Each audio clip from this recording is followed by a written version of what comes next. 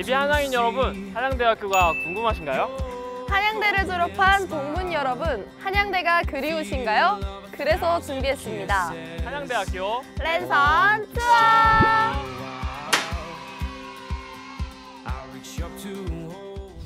네, 안녕하세요. 저희는 오늘 한양대학교 랜선 투어를 함께 진행할 사랑한대 대사 한우석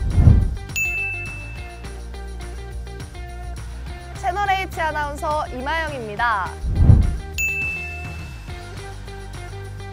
네, 저희 하이리온까지 셋이서 오늘 한양대학교 랜선 투어를 진행해 볼 건데요. 테마가 랜선 투어인 만큼 아이디를 사용해 보도록 하겠습니다. 제 아이디는 하댕이고요. 우석 씨는 어떻게 되나요? 제 아이디는 한우입니다.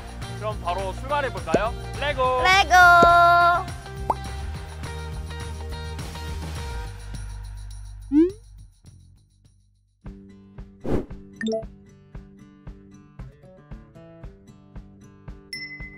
하댕 씨, 저 앞에 석상 보이시죠? 네, 저 석상이 바로 우리 한양대학교의 상징 사자상인데요.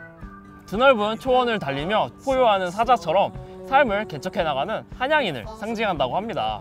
네. 한양인이라면 모두 다 아는 전설 하나가 있죠. 바로 저 사자상에 이빨을 뽑아서 갈아 마시면 시험에 합격할 수 있다는 전설이 있는데요. 아, 그래서 사- 사자상을 자세히 보시면 이빨만 하얗네요. 학생들이 이빨을 뽑아가다 보니 사자가 임플란트를 받았다고 합니다. 네, 지금 보시는 건물은 옛 구자를 쓴 구봉관이라고 하는데요. 현재는 한양대학교의 역사관으로 사용되고 있습니다. 그 옆에 보이는 건물은 새로운 신자를 쓴 신봉관인데요. 신봉관에는 한양대학교의 미래를 책임질 학생들을 뽑는 입학처와 그리고 대학 행정을 책임지는 대학 본부 부서들이 있습니다. 역사관에 대해서 좀 더 이야기를 해드리자면 예전에는 한양대학교의 본관으로 사용되었다고 해요. 신고전주의 양식의 건축물로 2019년 5월 등록문화재 제751호로 지정될 만큼 역사와 전통을 자랑하고 있다고 합니다. 역사관 옆에 보이는 국제관에는 다양한 국적의 글로벌 인재들이 공부를 하는 곳입니다. 신차가만. 안녕하세요. 안녕하세요. 자와뚜띠. 하느님 저 동상 보이시나요? 어, 네 보여요. 네, 바로 1939년에 한양학원을 설립하신 백만 김현준 박사님의 동상입니다. 자, 그러면은 다음 장소로 이동해 볼까요? 계속 가볼까요? 네.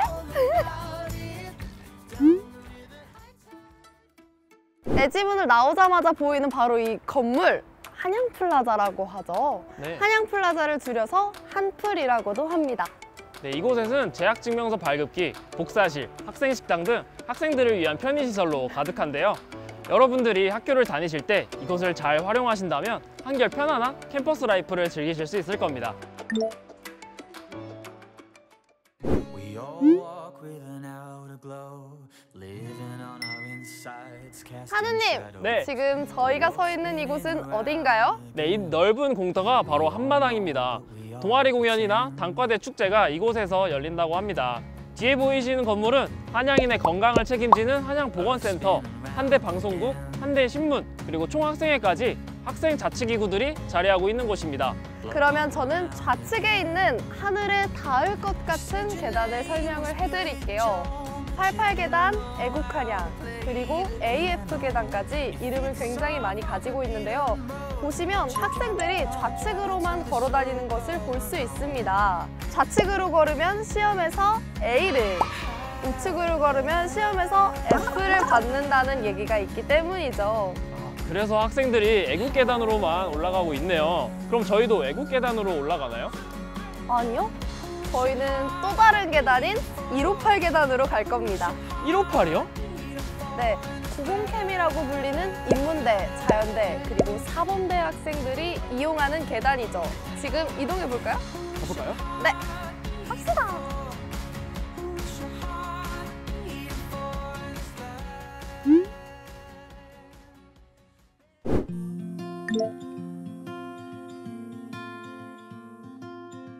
계단을 올라가면 한양 둘레길에서 볼 수 있는 가장 멋진 장소가 나오는데요. 왕십리의 풍경을 한눈에 볼 수 있는 곳이죠. 네, 가끔 이 길을 걷다 보면 은 시를 쓰는 문학 소녀가 되고 싶더라고요. 하등시마저 문학소녀로 만들어 버리는 이 길. 박목월 시인도 생전에 이 길을 자주 거닐었다고 하네요. 그 길을 저희가 함께 걷고 있습니다. 이곳에 도착을 했습니다. 네, 시 산수화가 적혀 있는 박목월 시비는 한양 인문 정신의 상징이라고 할 수 있습니다. 우리 대학 인문과학대학장을 역임하시며 많은 후학들을 양성하셨는데요. 올라오느라 힘들었는데 시 한 편 읊고 갈까요? 그럴까요?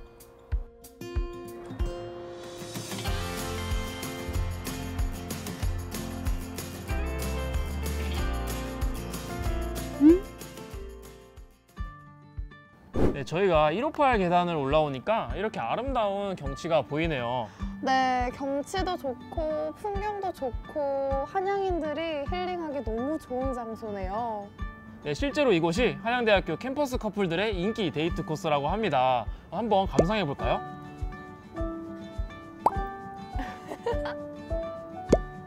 어, 왜 데이트 코스인지 딱 알겠어요. 저도 나중에 남자친구랑 한번 와봐야겠어요.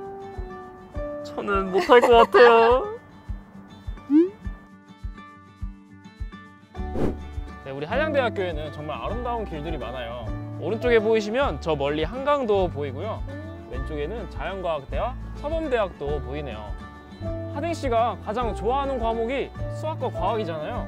바로 자연과학대에서 그 공부를 하죠. 와, 아니요. 저는 수학보다는 사범대 학교가 조금 더 맞는 것 같아요. 아름다운 신전 같은 곳에서 공부하는 아름다운 나의 모습? 뭐 상상만 해도 아름답지 않나요? 상상만 해도 아름답지 않나요?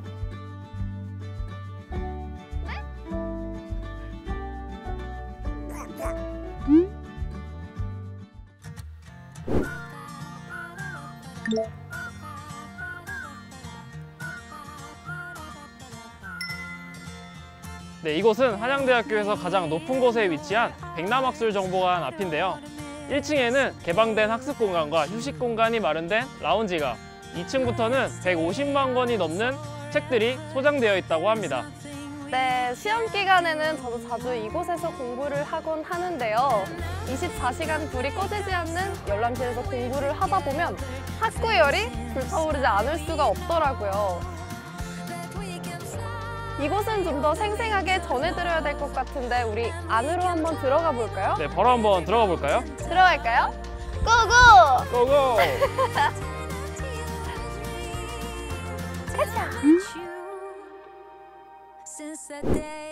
백남학술정보관은 책만 있는 공간이 아니라 다양한 라운지와 스터디룸, 수면실, DVD, VR룸 등 학생들의 지친 마음을 쉬게 해줄 공간이 있습니다. 뿐만 아니라 캠퍼스 곳곳에는 정말 다양한 라운지가 있는데요. Wow! 이렇게나 많이? 학생들을 위한 세심한 배려가 느껴지네요.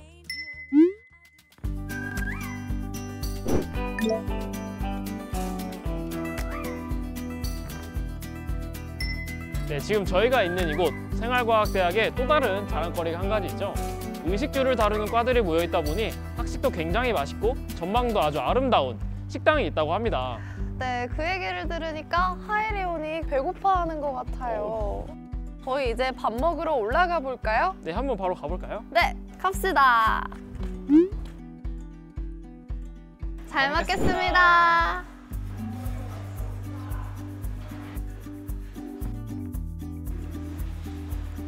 어때요? 간이 어때요?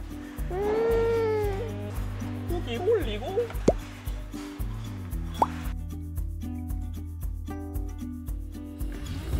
아 배부르다 우리 이제 어디로 가요? 밥에 따로 디저트를 따로라는데 우리 후식으로 아이스크림이라도 먹을까요? 또 먹는다고? 그럼 싸구니라도 갈까요? 왜 안 오세요? 빨리 와요. 아, 갈게요 갈게요